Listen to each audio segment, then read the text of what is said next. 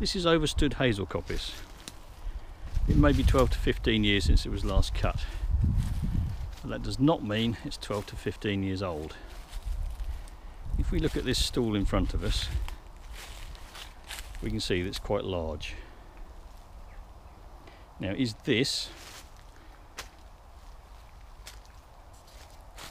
one, two, three, four, five individual close together stalls?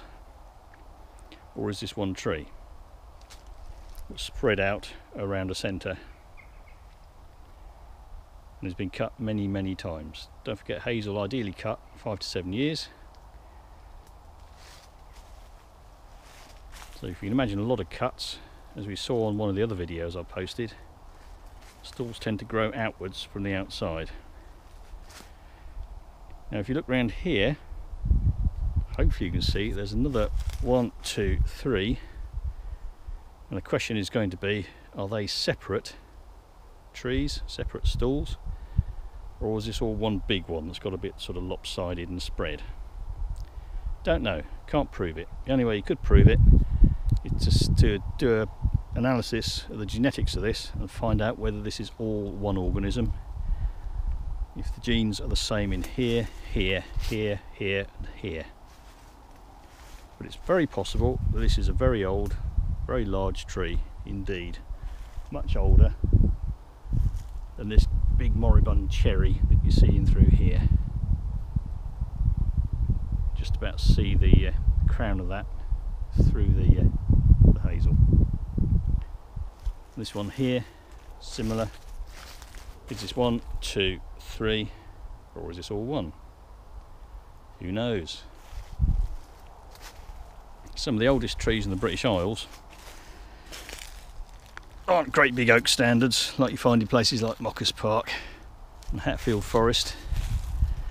They're actually rings of small-leaved lime that you find down in the Weald of Sussex and Kent and running along the Hampshire coast to places like Lepe Country Park, which is spelled L E P E, where I saw them many years ago on a course run by the British Trust for Conservation Volunteers. Now sadly changed its name and I think departed. And basically they don't reproduce, this is small leaf lime. Can't remember the Latin name, Tilia something. They used to reproduce fairly freely in Britain when the climate was warmer many centuries ago after the English Channel broke through. So they got into the country and then they tended to spread and form a, a large component of the woodlands. But they're very, very palatable. So it is thought that early man cut them to use the timber and also to feed livestock in times of hardship. And in some of these areas, they've been cut as coppice again and again and again, and the trees, the, the rings that they've left of trunks are now many tens of feet across.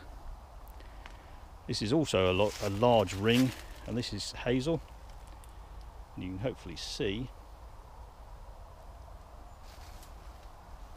but this is quite big. So this is about five feet across. It's a big old tree, I am certain. Let's walk through, see what else we can find. Another big stall you can see where the original stems were cut. Looks like this was cut as derelict coppice. See they're quite big. They've regrown here. But this is now overstood. It's got signs of deer damage all through it. Some of the regrowth is affected like this. This is deer develveting the antlers. That's tried to repair itself. More of it over there, but a lot of the regrowth is very bent and kinky. Also it's now bigger than is useful for coppice crafts. Premium market for that of course is for hazel hurdles. Sold in garden centres for quite a lot of money sometimes. And it's too small for firewood. But if you leave this for 50 or 60 years, so it's the size of firewood that, that I like and I use, that's convenient for that, see on some of my other videos that what's going to happen then is that the size of the coppice stools will get smaller and the number of stems per stool will get smaller and some of them will start to die out. This at the moment be dead easy to recut. You could rip through here, guys with chainsaws, make dead hedges from it. So you're basically cutting the waste, dead hedging it, protecting it from deer, and this will come back very, very nicely indeed. But this being a private landowner doesn't have the resources to do that. There's no way you could make any money from selling any produce from here. Slightly possible, you could get an expert and slightly desperate coppice worker to come in and cut this at no cost. But he wouldn't want put the extra effort at no cost in to build dead hedges or to pay for permanent deer fence. But as we've walked through here, seen how big some of these stalls are. And if this was recut and fenced against deer, I think this would come back as grade 2 or grade 1 coppice, which is quite valuable. But unfortunately, the way farming is in the country these days, you can't really borrow against the future.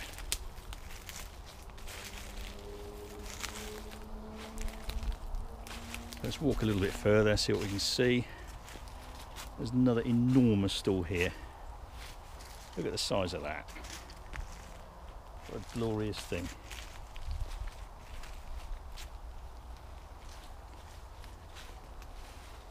So if we look around, let's say this is 20 years old. I think it's younger than that. But look at the amount that it's grown since it was last cut in 20 years if you say this is a hectare in size, which it is just about, multiply what you can see in front of you up by one hectare, and you'll come to the fact that in 15 years it's put on an awful lot of growth. There's a huge tonnage here. This is all captured carbon. It's very much in vogue at the moment to talk about capturing carbon the ward against climate change. There's a lot of talk about planting trees as carbon offset, but a planted tree you'd be very lucky indeed if it grows to the size of say two of these individual stems in 15 years. So this has grown much much faster, put on much much more growth. Coppice woodland is extremely good if protected against deer at capturing carbon and storing it temporarily in wood.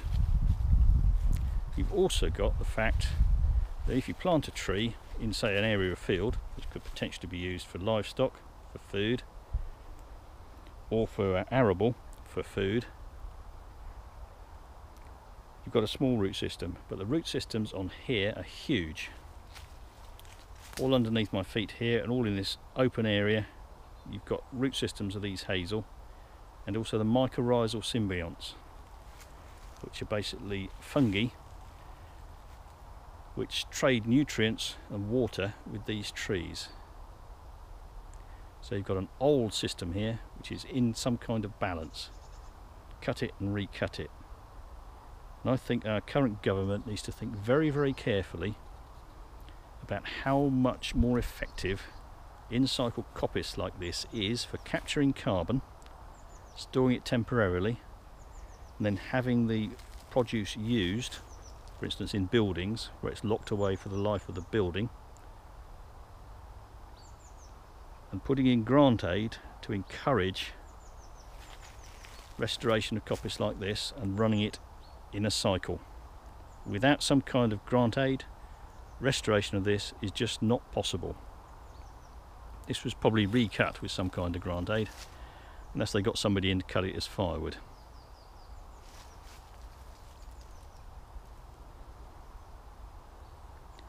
So that's just my thoughts, my opinions. If you like it, then say. If you don't like it, then say.